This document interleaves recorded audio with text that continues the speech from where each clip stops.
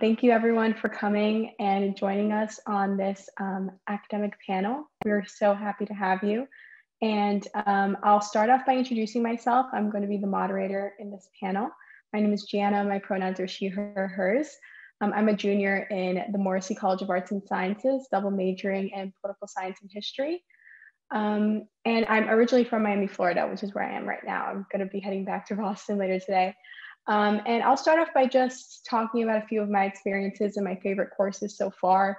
I would have to say a favorite course of mine um, has to be Courage to Know. It's this class that's open to freshmen, and it's just a way for you to connect with your peers, um, peers you wouldn't have in other classes since it's a capstone. And you're just able to talk about your experience in college so far and how it is transitioning, which, you know, everyone has their ups and downs their freshman year and it really was such an eye-opening experience. And my professor has been an advisor for me for the next you know, last three years of my career and has made such a difference. Another class of mine that i love is also open to freshmen. It was an enduring questions course and it's basically a course that bc offers that allows two different professors from different fields to talk about a common topic.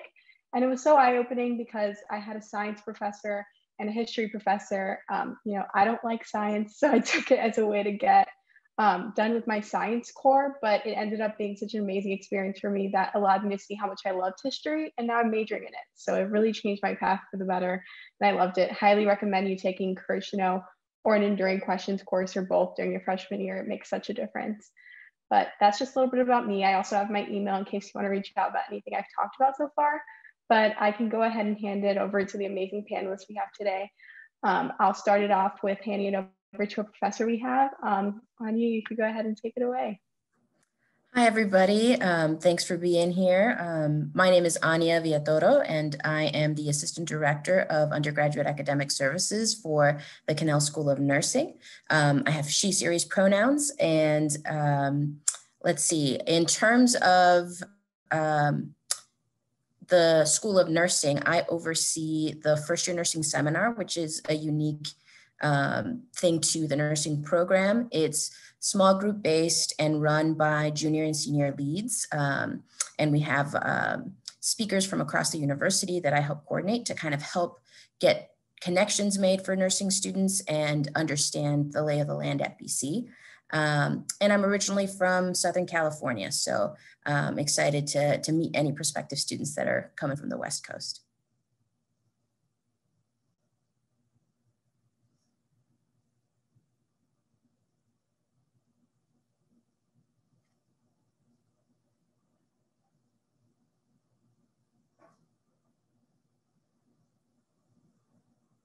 I'm just going to hop in here also. I forgot to mention, um, feel free to flood the chat with any, uh, well, actually the Q&A feature because the chat's disabled, just any questions that you have for the panelists and we'll go ahead and, and give it off to the panelists to answer. Um, I think Tiff is next for intros.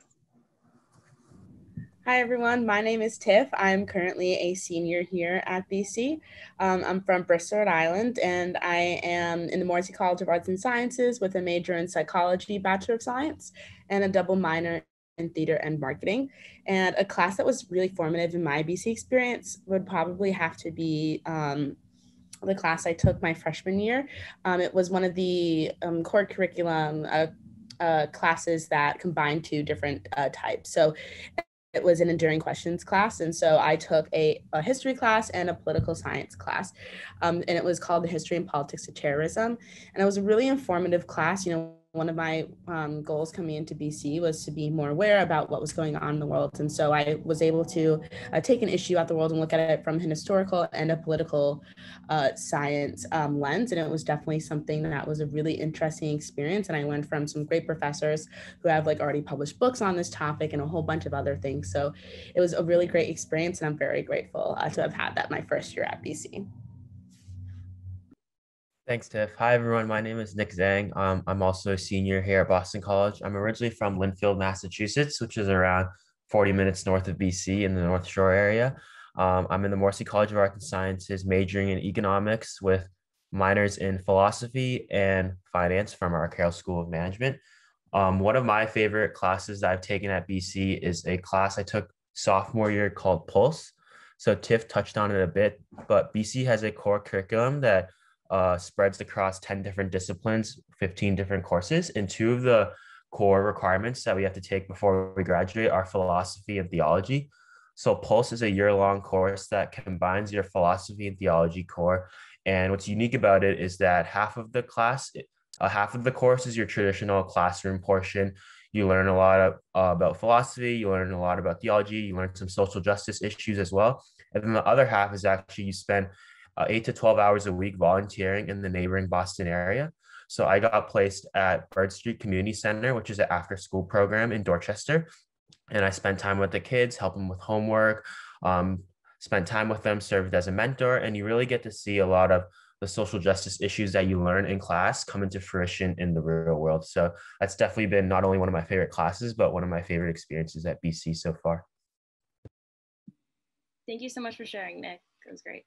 Um, hi guys, my name is Michaela Sanchez. I am a sophomore in the Morrissey College of Arts and Sciences, double majoring in history and sociology and minoring in management and leadership. My pronouns are she, her, hers, and I'm originally from Berkeley Heights, New Jersey, which is kind of central northish. Um, and one of the one of my most favorite classes, if not my favorite class I have taken at BC up until this point, is the Introduction to Latin American Societies class, which I took my freshman year. I had I wasn't really planning on taking this class. I was trying to bump out other core curriculum requirements um, coming in freshman year, but my advisor was like, this course is great, the professor is amazing, and it fulfills your cultural diversity requirements. So I was like, okay, that sounds something like something I'd be really interested in taking.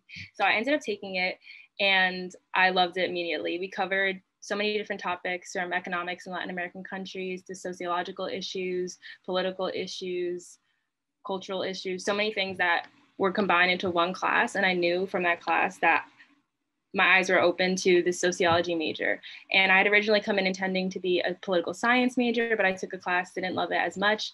And I took this one and I just went up to the professor one day after class, Professor Gustavo Morello, who has been one of my mentors now.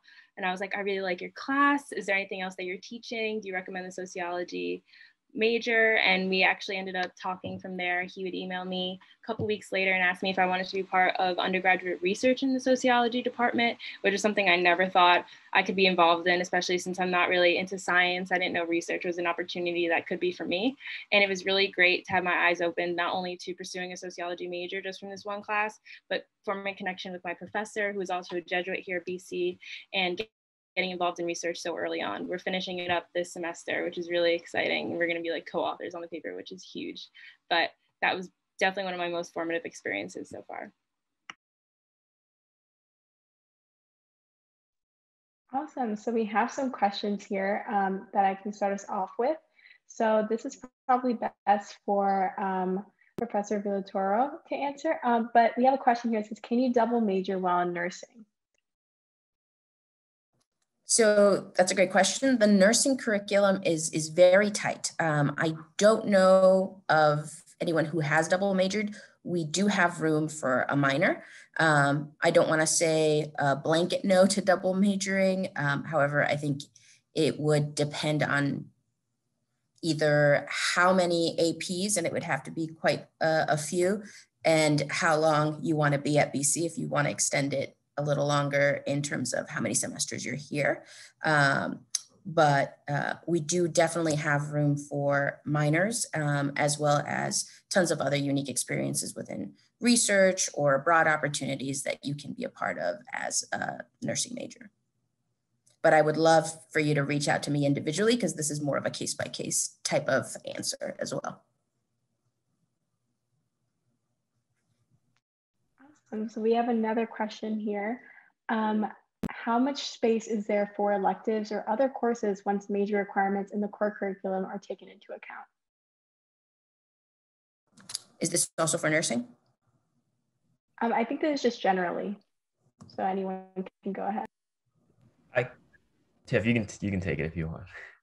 Yeah, I, was just gonna say, uh, there's a pretty decent amount of space. You do have to have a certain amount of credit uh, credits in order to graduate, um, and that is definitely not fulfilled by just the core curriculum and your major. So, for example, my major is uh, the psychology bachelor of science. And according to my as as far as i know this was the major that had the most uh, credits on campus that were required. I think it was coming in at like 59 69 credits something like that. Um, and i still had the opportunity to complete my core curriculum and have a minor in marketing, did take theater classes, and be on the pre med track. Um, so there's definitely a lot of space. Um, if you are interested in adding on a minor, you can do that, I believe, at any point. And minors are, at least in the Carroll School of Management, my minor is only six classes. So it's really easy to fit into your schedule. And then if so, if I didn't, if I wasn't on the pre med track and I still had, and I had the marketing minor, but didn't do the pre med track, I would still be able to have the major with all the requirements, the core curriculum, the minor, and I could have taken many more electives. It was just because I was on the pre med track that I chose my electives to be those extra classes that I would take for pre med. But in my experience, it was definitely very easy.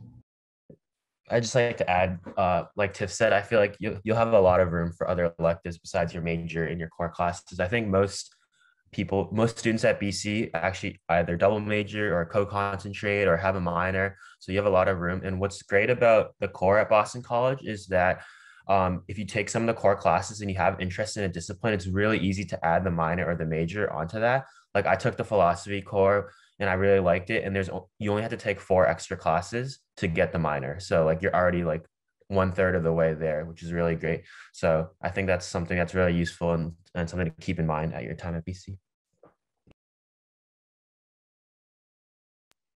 Awesome. So there's another question we have in. Has the core curriculum helped you declare your major?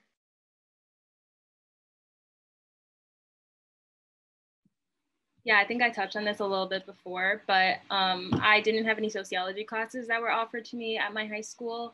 And like I said, I came in as a political science major, so I knew I had to fulfill the social, um, the social curriculum um, in that way through the core curriculum. So taking those classes weren't a waste in any way. They really helped me investigate whether or not I wanted to continue the political science major or if I wanted to switch over to sociology.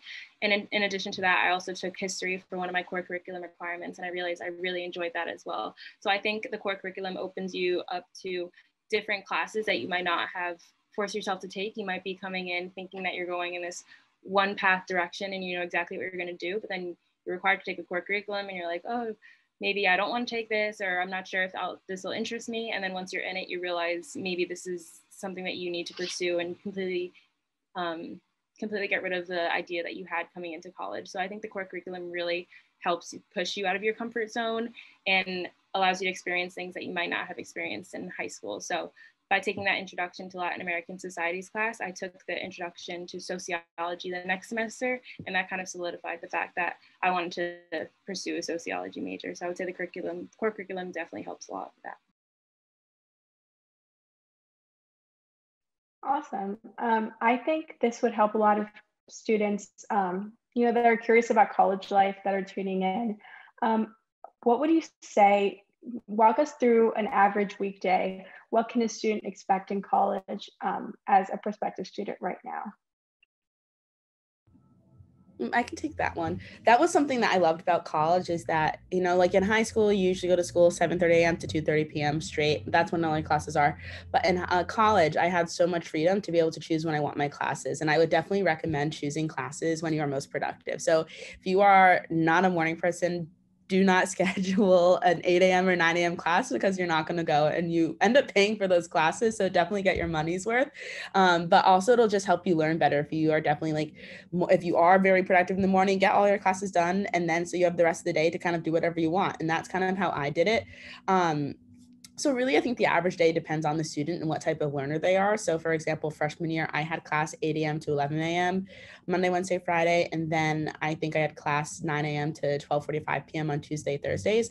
And then after that, I would have time to do my homework.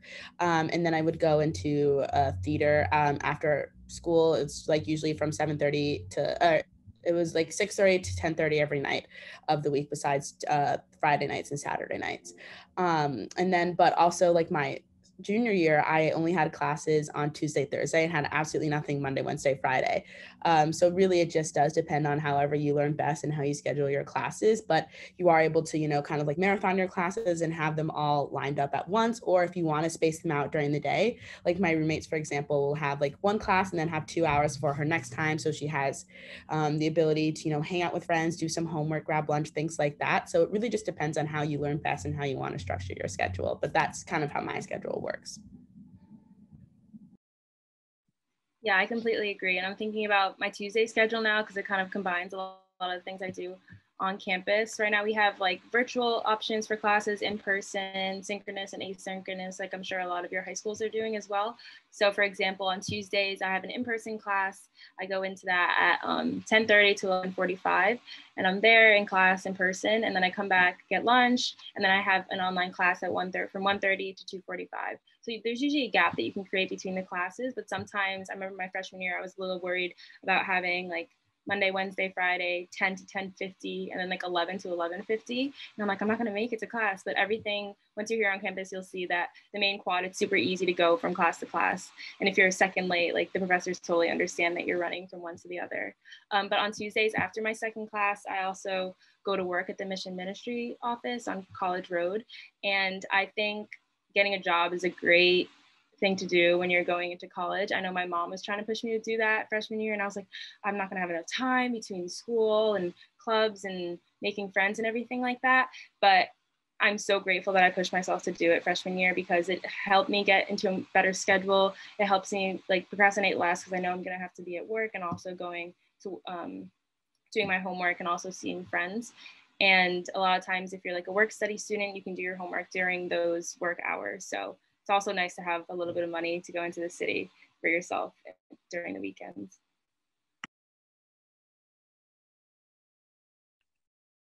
Awesome, thanks for sharing. Um, I have here another question. So would you say students fulfill their core during their four years or do you think students usually fill it out during a shorter timeline?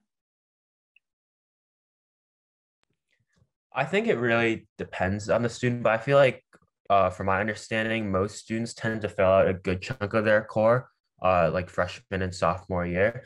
Um, a good amount of students do come into BC uh, undecided as a major, which is not a problem at all. We actually really encourage that if you don't know what you want to study, because that way, by taking different cores in social science and history and uh, natural science, math, so on, you can really get a wide spectrum of different disciplines and really see what you really like, and you can kind of pivot from there. So I think a lot of students tend to take a good chunk of their core early. But what's good about um, Boston College is there's no like requirement like you have to have your core done by your sophomore year. You can really space it out however you want. Um, I'm I'm finishing out my core right now. Last semester, senior year, I left one for right now. So like you, it's really up to you on how you want to space it and how you want to design your own schedule.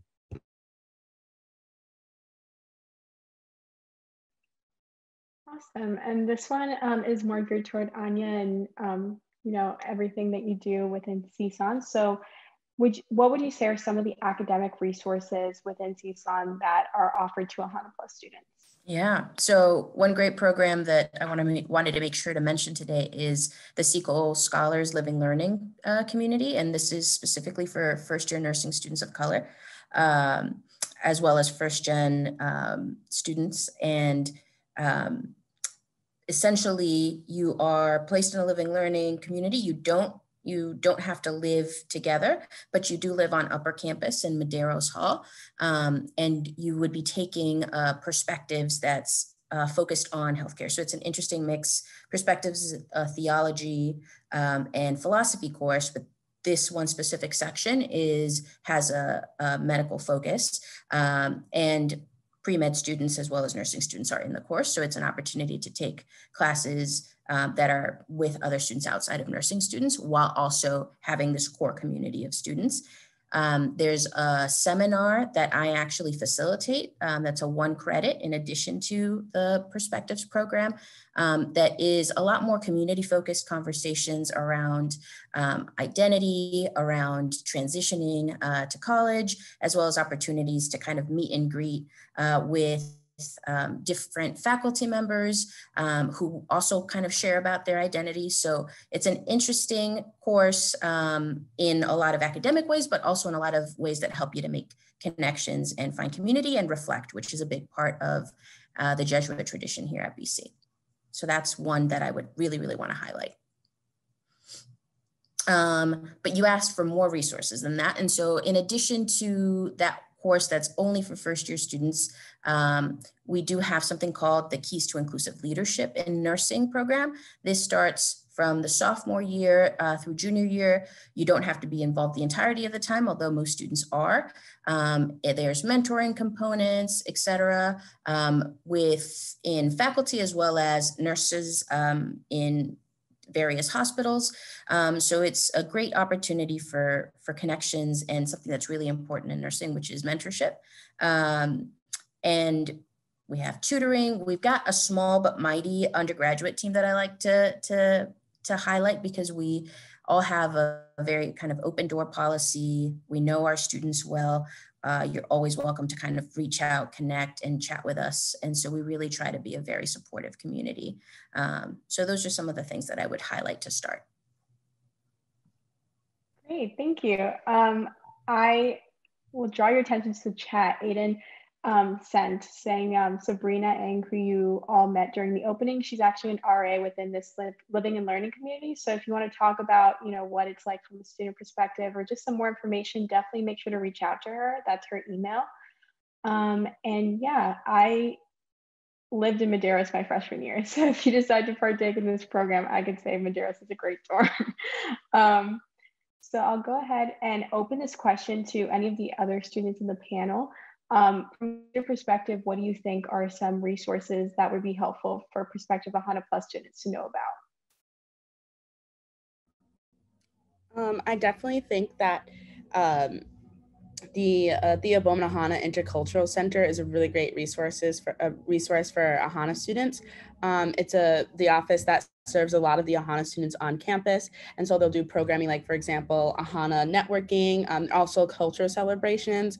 Um, they'll have programming for, um, you know, like um, Black History Month and, th- things like that. Uh, so that's definitely a really good place to go. Also, you don't have to go there just for resources. They have things like uh, like an office space so you can kind of just chill there um, and just a really great space to create community and meet other AHANA students on campus. They'll also offer counseling and things like summer tuition remission um, so like if you ever want to take a summer class, I did that program through them. And if you qualify, um, they'll pay for your housing, classes, things like that. Um, I also think another great resource um, that's not specifically for AHANA students, but I think all students should know is the Connors Family Learning Center. Um, and that's a free resource for students to use if they ever are struggling in classes. Um, and I struggled a lot in my pre-med class. That's why I'm not pre-med anymore. and I was able to go there my freshman and sophomore year while I was pre-med. And I can still go there, but I mainly use it for pre-med. And I was able to get free tutoring in, um, you know, organic chemistry, general chemistry, things like that, um, and at no cost whatsoever. And also, if you have any uh, learning disabilities uh, or you need any accommodations, you are able to go to the office as well. So for my ADHD, I can get accommodations through there. Um, so that's another really great resource as well. I think culture clubs could also be a huge resource here at BC, not only for like meeting people that share common a common culture with you, common language with you, but also really honing in on these like academic and alumni resources. I am the director of external affairs for the Organization of Latin American Affairs, which is also called OLA. And right now I'm in the process of helping to lead um, five different panels called La Visión, which is um, basically an alumni networking project that we're doing, and each different um, panel is a different area of professionals speaking about their experience at BC and in the real world right now. So, for example, this week we have coming up our media panel, and last week we had business, and the week before we had law. So, I think if you find like individual culture clubs or join a bunch here on campus, there's like the Black Student Forum that I know Aiden Henderson is a part of. Um, but if you find these little groups, a lot of the times they have events and networking opportunities that cater to like your specific culture group. And I think that's really cool experience because you can also meet people not only within BC, but outside as well.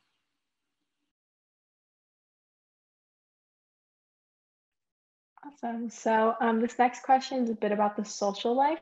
So what would you say a typical weekend looks like for a BC student? And we can go ahead and answer another question along with that one. How often would you say BC students visit Boston? Um, I can start on this one. I think it honestly depends on the person. I mean, there are so many different types of people at BC. Like, there are people who really like to stay on campus and don't really go out, and there are people who are in the city almost every weekend and throughout the week. Um, some people go into the city for internships. I would say personally, I'm kind of in the middle. Um, BC is so close to the city. That's one of the reasons why I love BC is that the location is great because you know, like so close to the city, but the city is not our whole campus. Um, and I really wanted that campus feel. So I like take the T or Uber. The T is like 45 minutes, Uber is like 20. But a lot of people will go to like Newbury Street to just walk around. Um, there's like the Boston Commons, there's the aquarium. There's so much to do um, in Boston. And because Boston is a college like city, uh, they're always offering college discounts like movie theaters, um, things like that. With COVID, of course, it's been a little bit different. Um, but even with COVID, like walking around, of course, masks on and stuff um, has been something that's been really fun for me and my roommates to do. Um, there's also so many things to do on campus, which is why some people might not go off campus. Like, honestly, sometimes there's this thing called the BC bubble, which is there's always just so much going on at BC that a lot of students don't feel the need to go out and explore the city of Boston. Um, so, like, for example, like literally right outside my window right now, which is why I keep looking up, there's like a concert going on on the lawn. Um, so, there's always something to do, whether it's like a concert, a CAB will put on some events. Um, and even throughout COVID, of course, all the events looked a little bit different, but things are still going on.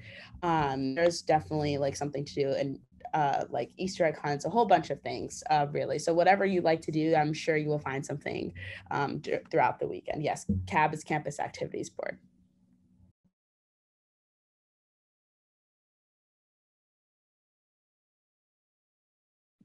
I would say I go into the city probably once a week or twice a week this year. Um, we're trying to explore more. I know freshman year I definitely stayed on campus more, but as a sophomore, I've been venturing into the city, trying different restaurants and going around there. I know my freshman year in the Introduction to Latin American Societies class, our final paper was about finding um, Hispanic influence within Boston. So we would have to go somewhere. I went to the Museum of Fine Arts and wrote my paper about one of the paintings there.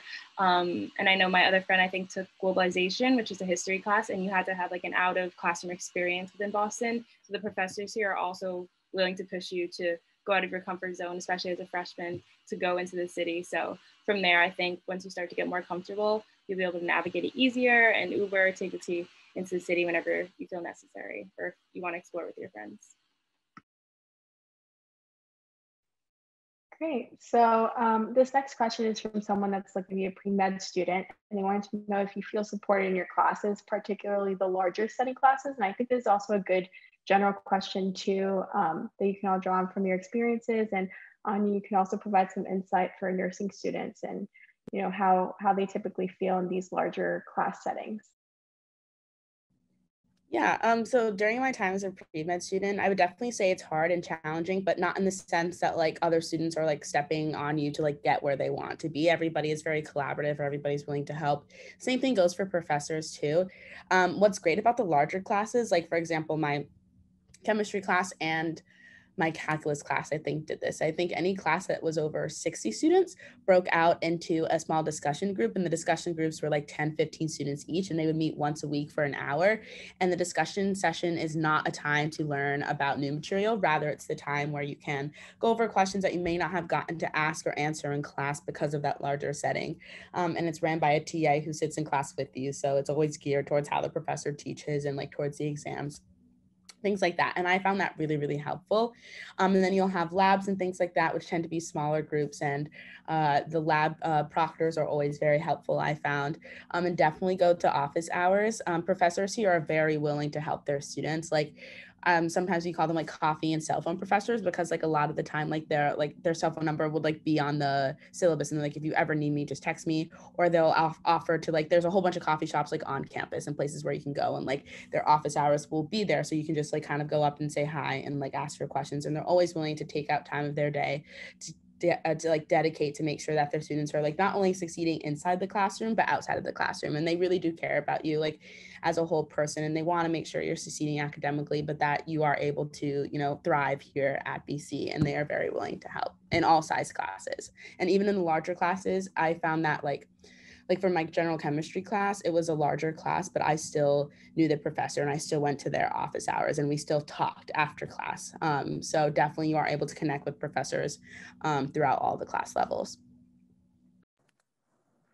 I would echo everything that Tiffany said. It's applicable to nursing in terms of um, using small group, small group sections and labs to kind of uh, complement these larger lecture style classes. Um, but I really, really want to hone in on what she said about office hours. I think that that's super important um, and something that I, as a first gen student, when I was an undergrad, did it took me a while to realize how important and what office hours were even for. So I want to highlight that that's uh, an opportunity to ask individual questions, to get feedback on your exam, to go through uh, line by line questions, to form a relationship with the professor, get to know them, um, and uh, start conversations that can lead to, like Michaela highlighted, perhaps opportunities for research or just mentorship. So really want to highlight that. Unique to uh, nursing, um, we have a staff member named Brandon Huggin, who I want to give a shout out to on here, um, who runs special study halls for first year uh, large lecture style classes like anatomy and physiology. Um, we have something for sophomore year pathophysiology. And this is in addition to the Connors Learning Center individual tutoring um, that was highlighted earlier. So that's study skills, study set, uh, study workshops uh, through the School of Nursing would be Brandon Huggin for those that are on this call. Remember that name. That's great. And um, this kind of leads me to my next question. So how big of a role has academic mentorship played in your experiences as students or um, you know what have you seen mentorship as um, at bc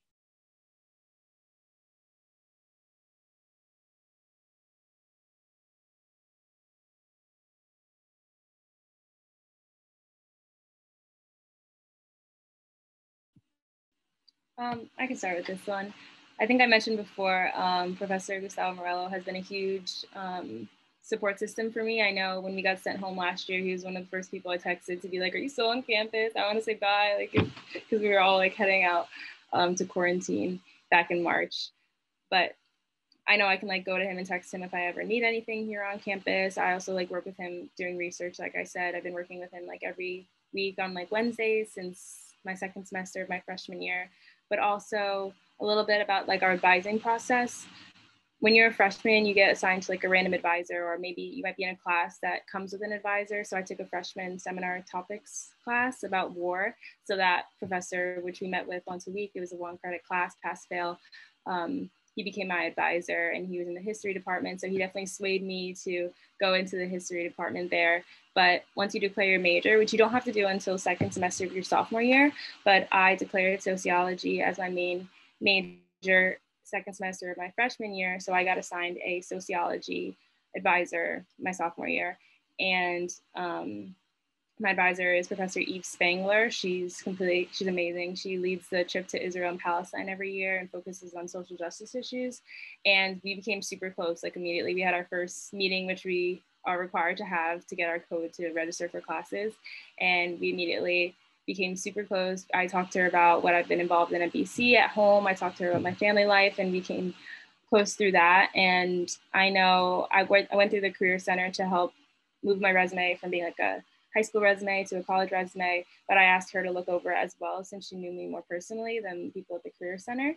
And she looked over it and she automatically like forwarded it to different like programs and scholarships here on campus that I never knew about. I think she got my foot in the door of places that I wouldn't even have known to explore. So she's been a big, huge help for me too. And I have her phone number in addition to Professor Gustavo Morello. So like Tiff's talked about before, it's like those coffee professors where you can just text them when you need them. And they're really looking out to help you and better you and provide any guidance that you might need.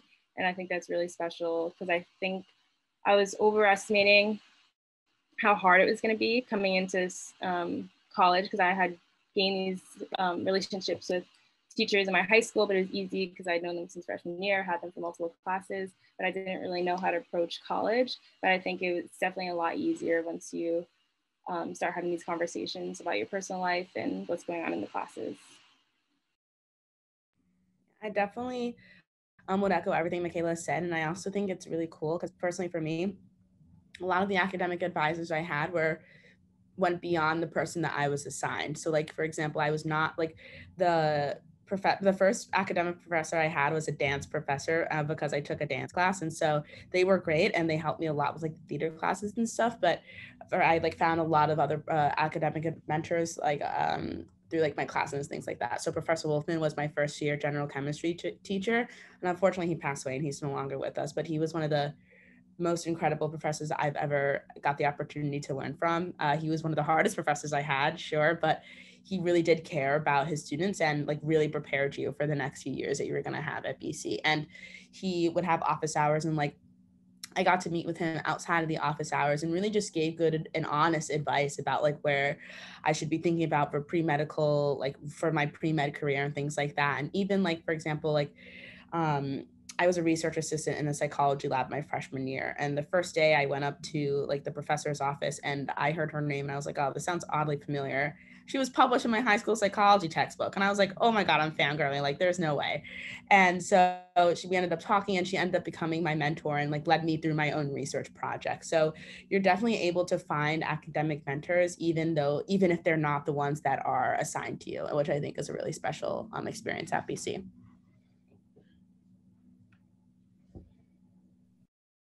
Awesome. Um, maybe Nick can draw on this one. Um, someone's asking if you're an MCAS, is it easy to get a minor in CSOM? Yes, it is. Um, I have a minor in finance from CSOM. I think this is actually a fairly new addition that Boston College has done. Um, uh, you're allowed to minor in six different disciplines within CSOM. I think it's finance, accounting, marketing, finance and accounting for consulting, and then there's two I'm probably missing. But um, you definitely are able to minor uh, in Carroll if you're not in Carroll. So I'm, I'm casting around and I'm minoring in Carroll. And the workload is really uh, not difficult at all. The minors in Carroll are only six classes. And for me, especially, there's a lot of overlap with e- the econ uh, cores that you take in the econ classes. So um, definitely minoring in Carroll is something that's very popular nowadays and very doable as well. Awesome. So this next one's a little general. Anyone can chime in, but what do you think is um, your favorite spot to work on campus um, to do some work, or you know, where do you think students would best flock to um, when they're on campus? I can start with that one. My favorite spot to study on campus is called the Stokes Bridge. Um, so there's Stokes South and Stokes North, which are uh, two of our most recent buildings that house a lot of our humanity course and there's a bridge that connects them. And on the bridge there's like uh i guess like chairs with ta- chairs with like kind of mini tables and there's like a big glass window where you can kind of see all of campus. So it's a very scenic spot to you know read or get some work done between classes. So that would be my favorite spot to study on campus Um, I think for me, I am not a person to study in libraries. I think I've stepped in the library to like do printing and stuff, but after freshman year, I decided not to. I have um, ADHD, so I get very distracted very easily. And being spaces like a library, although sometimes it can be normally quiet for me, I just like see people I know, and then I I can't focus, and there's just a lot of people everywhere. Um, but the libraries are, um, you know, like we have O'Neill Library, which has five floors. So it really has like something for everybody um, on campus, which is something that I'm very grateful for because I'm not a library person. So even though there's a quiet floor in O'Neill or the whole Bapst library is quiet, I still decide not to go there. Rather, I do a lot of my studying um, in the green room, which is actually uh, where all the theater kids will kind of hang out um, before and after and during rehearsals and things like that. And so I kind of just sit there at one of the desks in there and do all of my work there. I got so comfortable there. I even have a blow up couch uh, with my name on it in there. So, like, really, there are a whole bunch of different niche places you can find on campus besides the libraries if libraries aren't your thing. And if they are, that's totally cool. There are so many different types of libraries on campus. We have like five just on our main campus. So, there really is something for everybody. And then also, I really like to study in the classrooms, especially during final season. Um, so, they'll open up the classrooms, I believe, 24 7. Um, now, there's like certain protocols you have to follow with COVID, of course, but um, you can study in classrooms as long as they're not being used. And it's really nice because like you can kind of like be in the space where you're taking the test or like, uh, you know, like if you just like to have a lot of space to spread out, like it's really, it's really um, great for that. I would have to say Gasson Quad. So Gasson is our like main building on campus. Like beautiful. If you guys look it up, you can look up Gasson Grams on Instagram. Um, I am also not really a big library person, like Tiff said. So when it's really nice out, I try to go outside and sit outside in front of Gasson or within Gasson because there's a little library within there and it's super quiet and easy to study in. But I feel like I'm hustling and bustling throughout the day. And I know that um, during work, I actually get a lot of my work done in my work study job. So if there's any downtime when the office doesn't really need me, I'm just sitting there grinding, trying to get my homework done then. Um, and if not, I usually come back to my room and all the different um, dorms, they have lounges on each of the floors or a common lounge. So super easy if I want to go my PJs just to walk a couple steps over there. And they're usually always open. So I would either say Gasson Quad or at work or in the lounges in the dorms.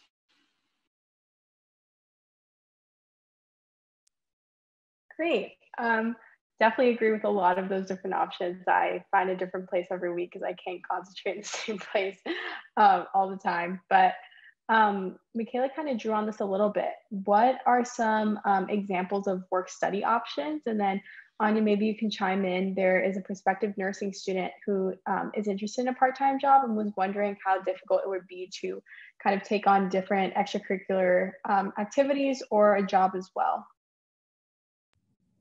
Um, I can talk about the work study. Uh, so that's been in my financial aid package for, I think, all my four years. Um, and so when freshman year, uh, they posted like the different opportunities that you can have for work study. So like you can work in the libraries, you can work um, in the dining halls, you can work um, in research uh, labs.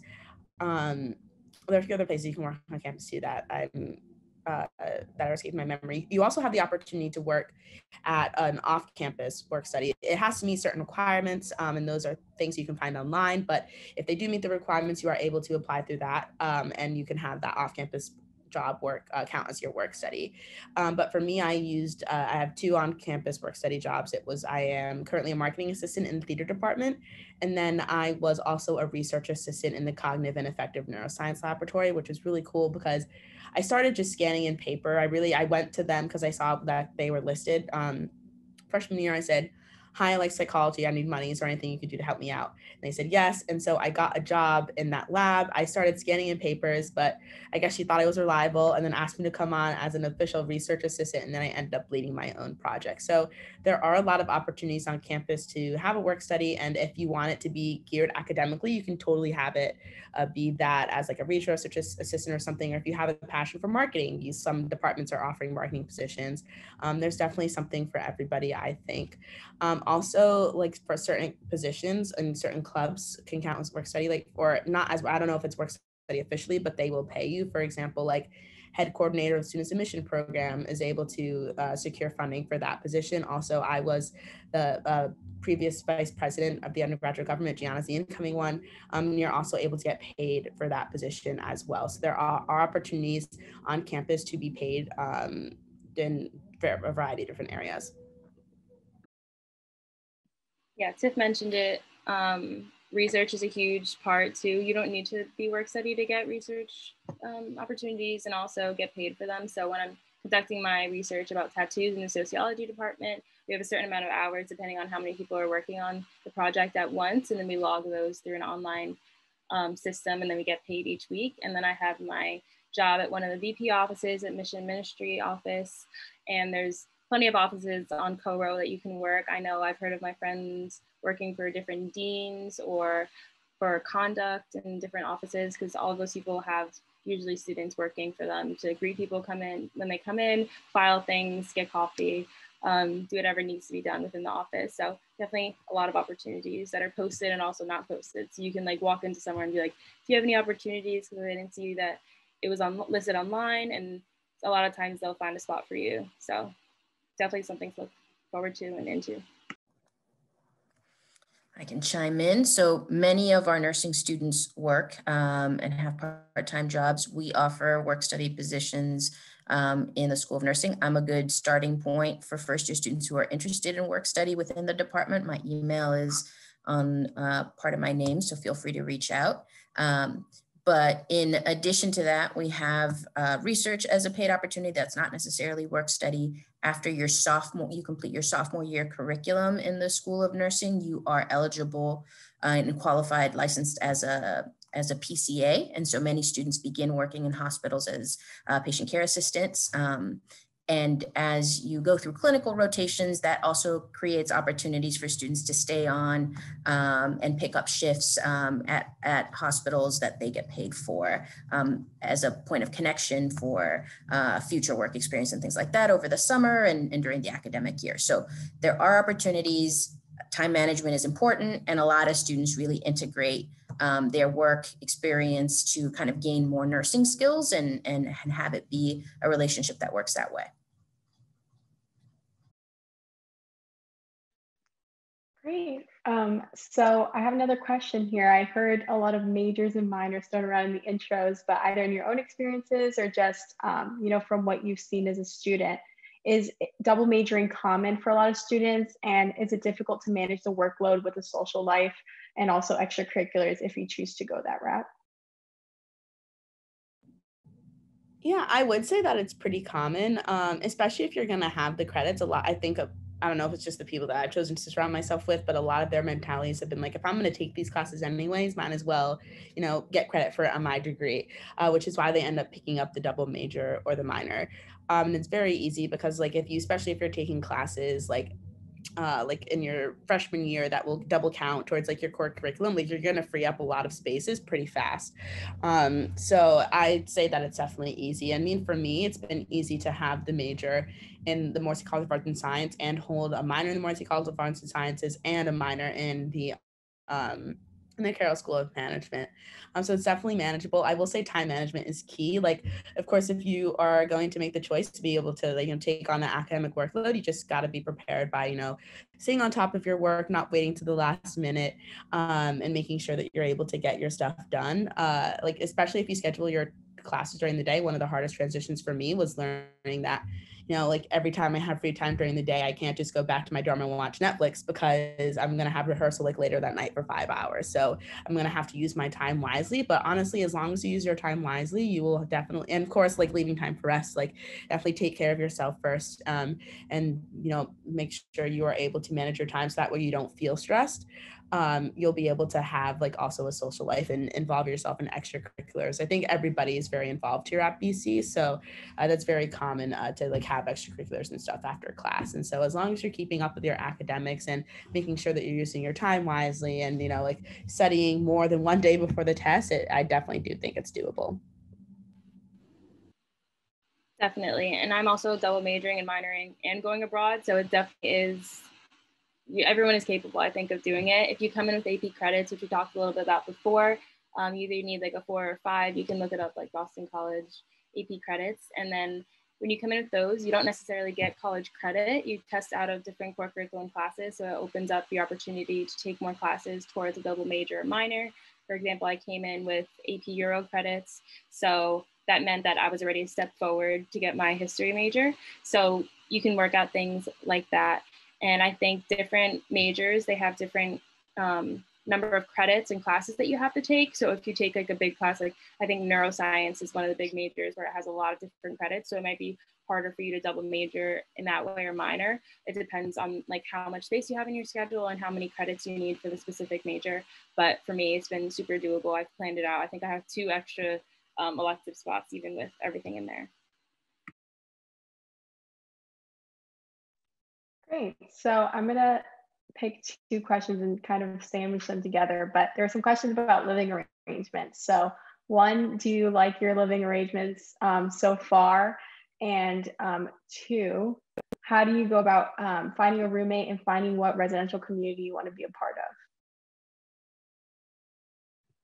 I can start. Um, sorry, my Wi-Fi completely cut out, uh, which is why uh, I had to rejoin. Hopefully, uh, nothing happens anymore. But I can start with the like freshman year finding roommate and living learning community part of the question.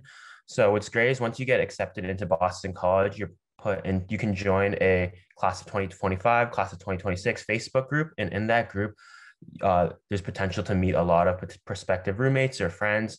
Um, most people like to share uh, their interests, and you can kind of just reach out to other people who share similar interests, come from similar areas uh, so you can meet and potentially roommate with each other. Um, there's also the aspect of going random, which is what I did. Um, BC has this kind of survey matching system where you fill out a couple questions about whether you like to go to bed early, whether you like to have guests or not, and they'll do the best in your ability to match uh, you with um, a potential roommate. So the random roommate I got my freshman year, I'm still living now, my senior year. So it went well for me. And I think no matter which way you go, um, there's great stories of picking your roommates. There's great stories of going random. So uh, in that aspect, uh, I don't think it's something that's some uh, to get too stressed about. In terms of living and learning community, so we have living and learning communities, and for freshmen, I think we have six specific living and learning communities. Um, so just to highlight, one of them is in Kostka, which is uh, an all girls building uh, on upper campus. So that's one of our communities.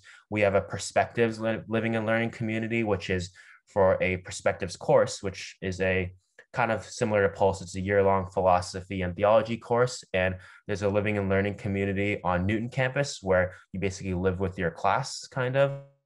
Um, I know uh, for sophomore year, there's a healthy living li- uh, living and learning community. If you're um, like into eating healthily, living a healthy life, not into you know drinking and things on that aspect, you can be placed on a floor where it specifically caters to that interest. So there's so many different communities that you can request to join and be part of, which definitely help expedite your living situation at BC. Yeah, and then I think for other living arrangements, I've loved everywhere that I've lived um, so far.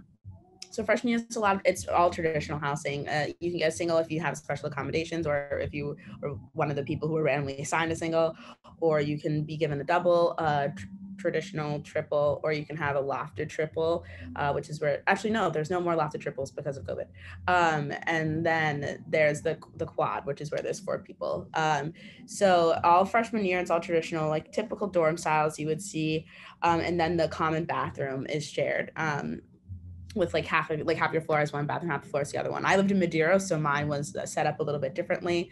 Um, but that's how it works for freshman year. Sophomore year, you have the opportunity to um, start living in um, almost like apartment style, or the sophomore year they're called suites because they don't have full kitchens yet. But if you are living, uh, if you are living in a suite style housing sophomore year, it's all on lower campus. Um, you can still live in traditional style housing sophomore year, but most of the sophomore class will end up being in suite styles, and that's all on lower campus, and that's where you'll have a common room um, with like two couches, and then you'll have a kitchenette um, and then uh, you'll have like I think it's like six, eight, or nine mans.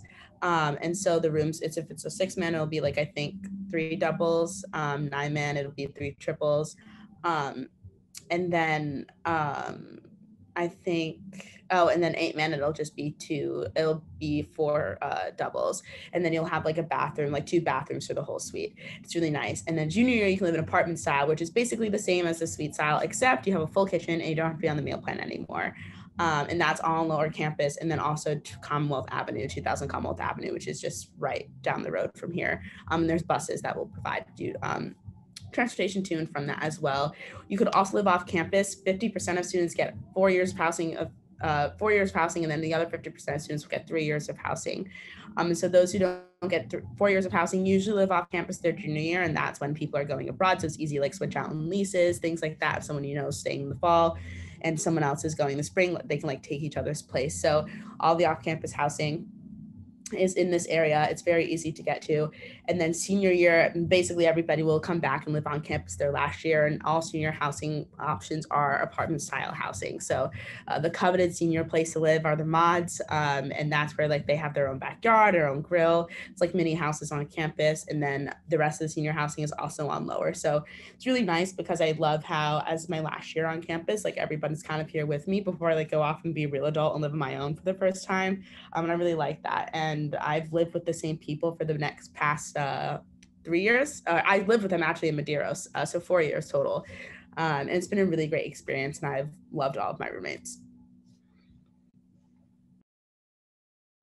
Great. Um, so we're going to end off on a strong note, and if all of you can give um, just a piece of advice to either your freshman yourselves um, that you wish you knew, and Anya, in your case, to a freshman student, um, what would you say?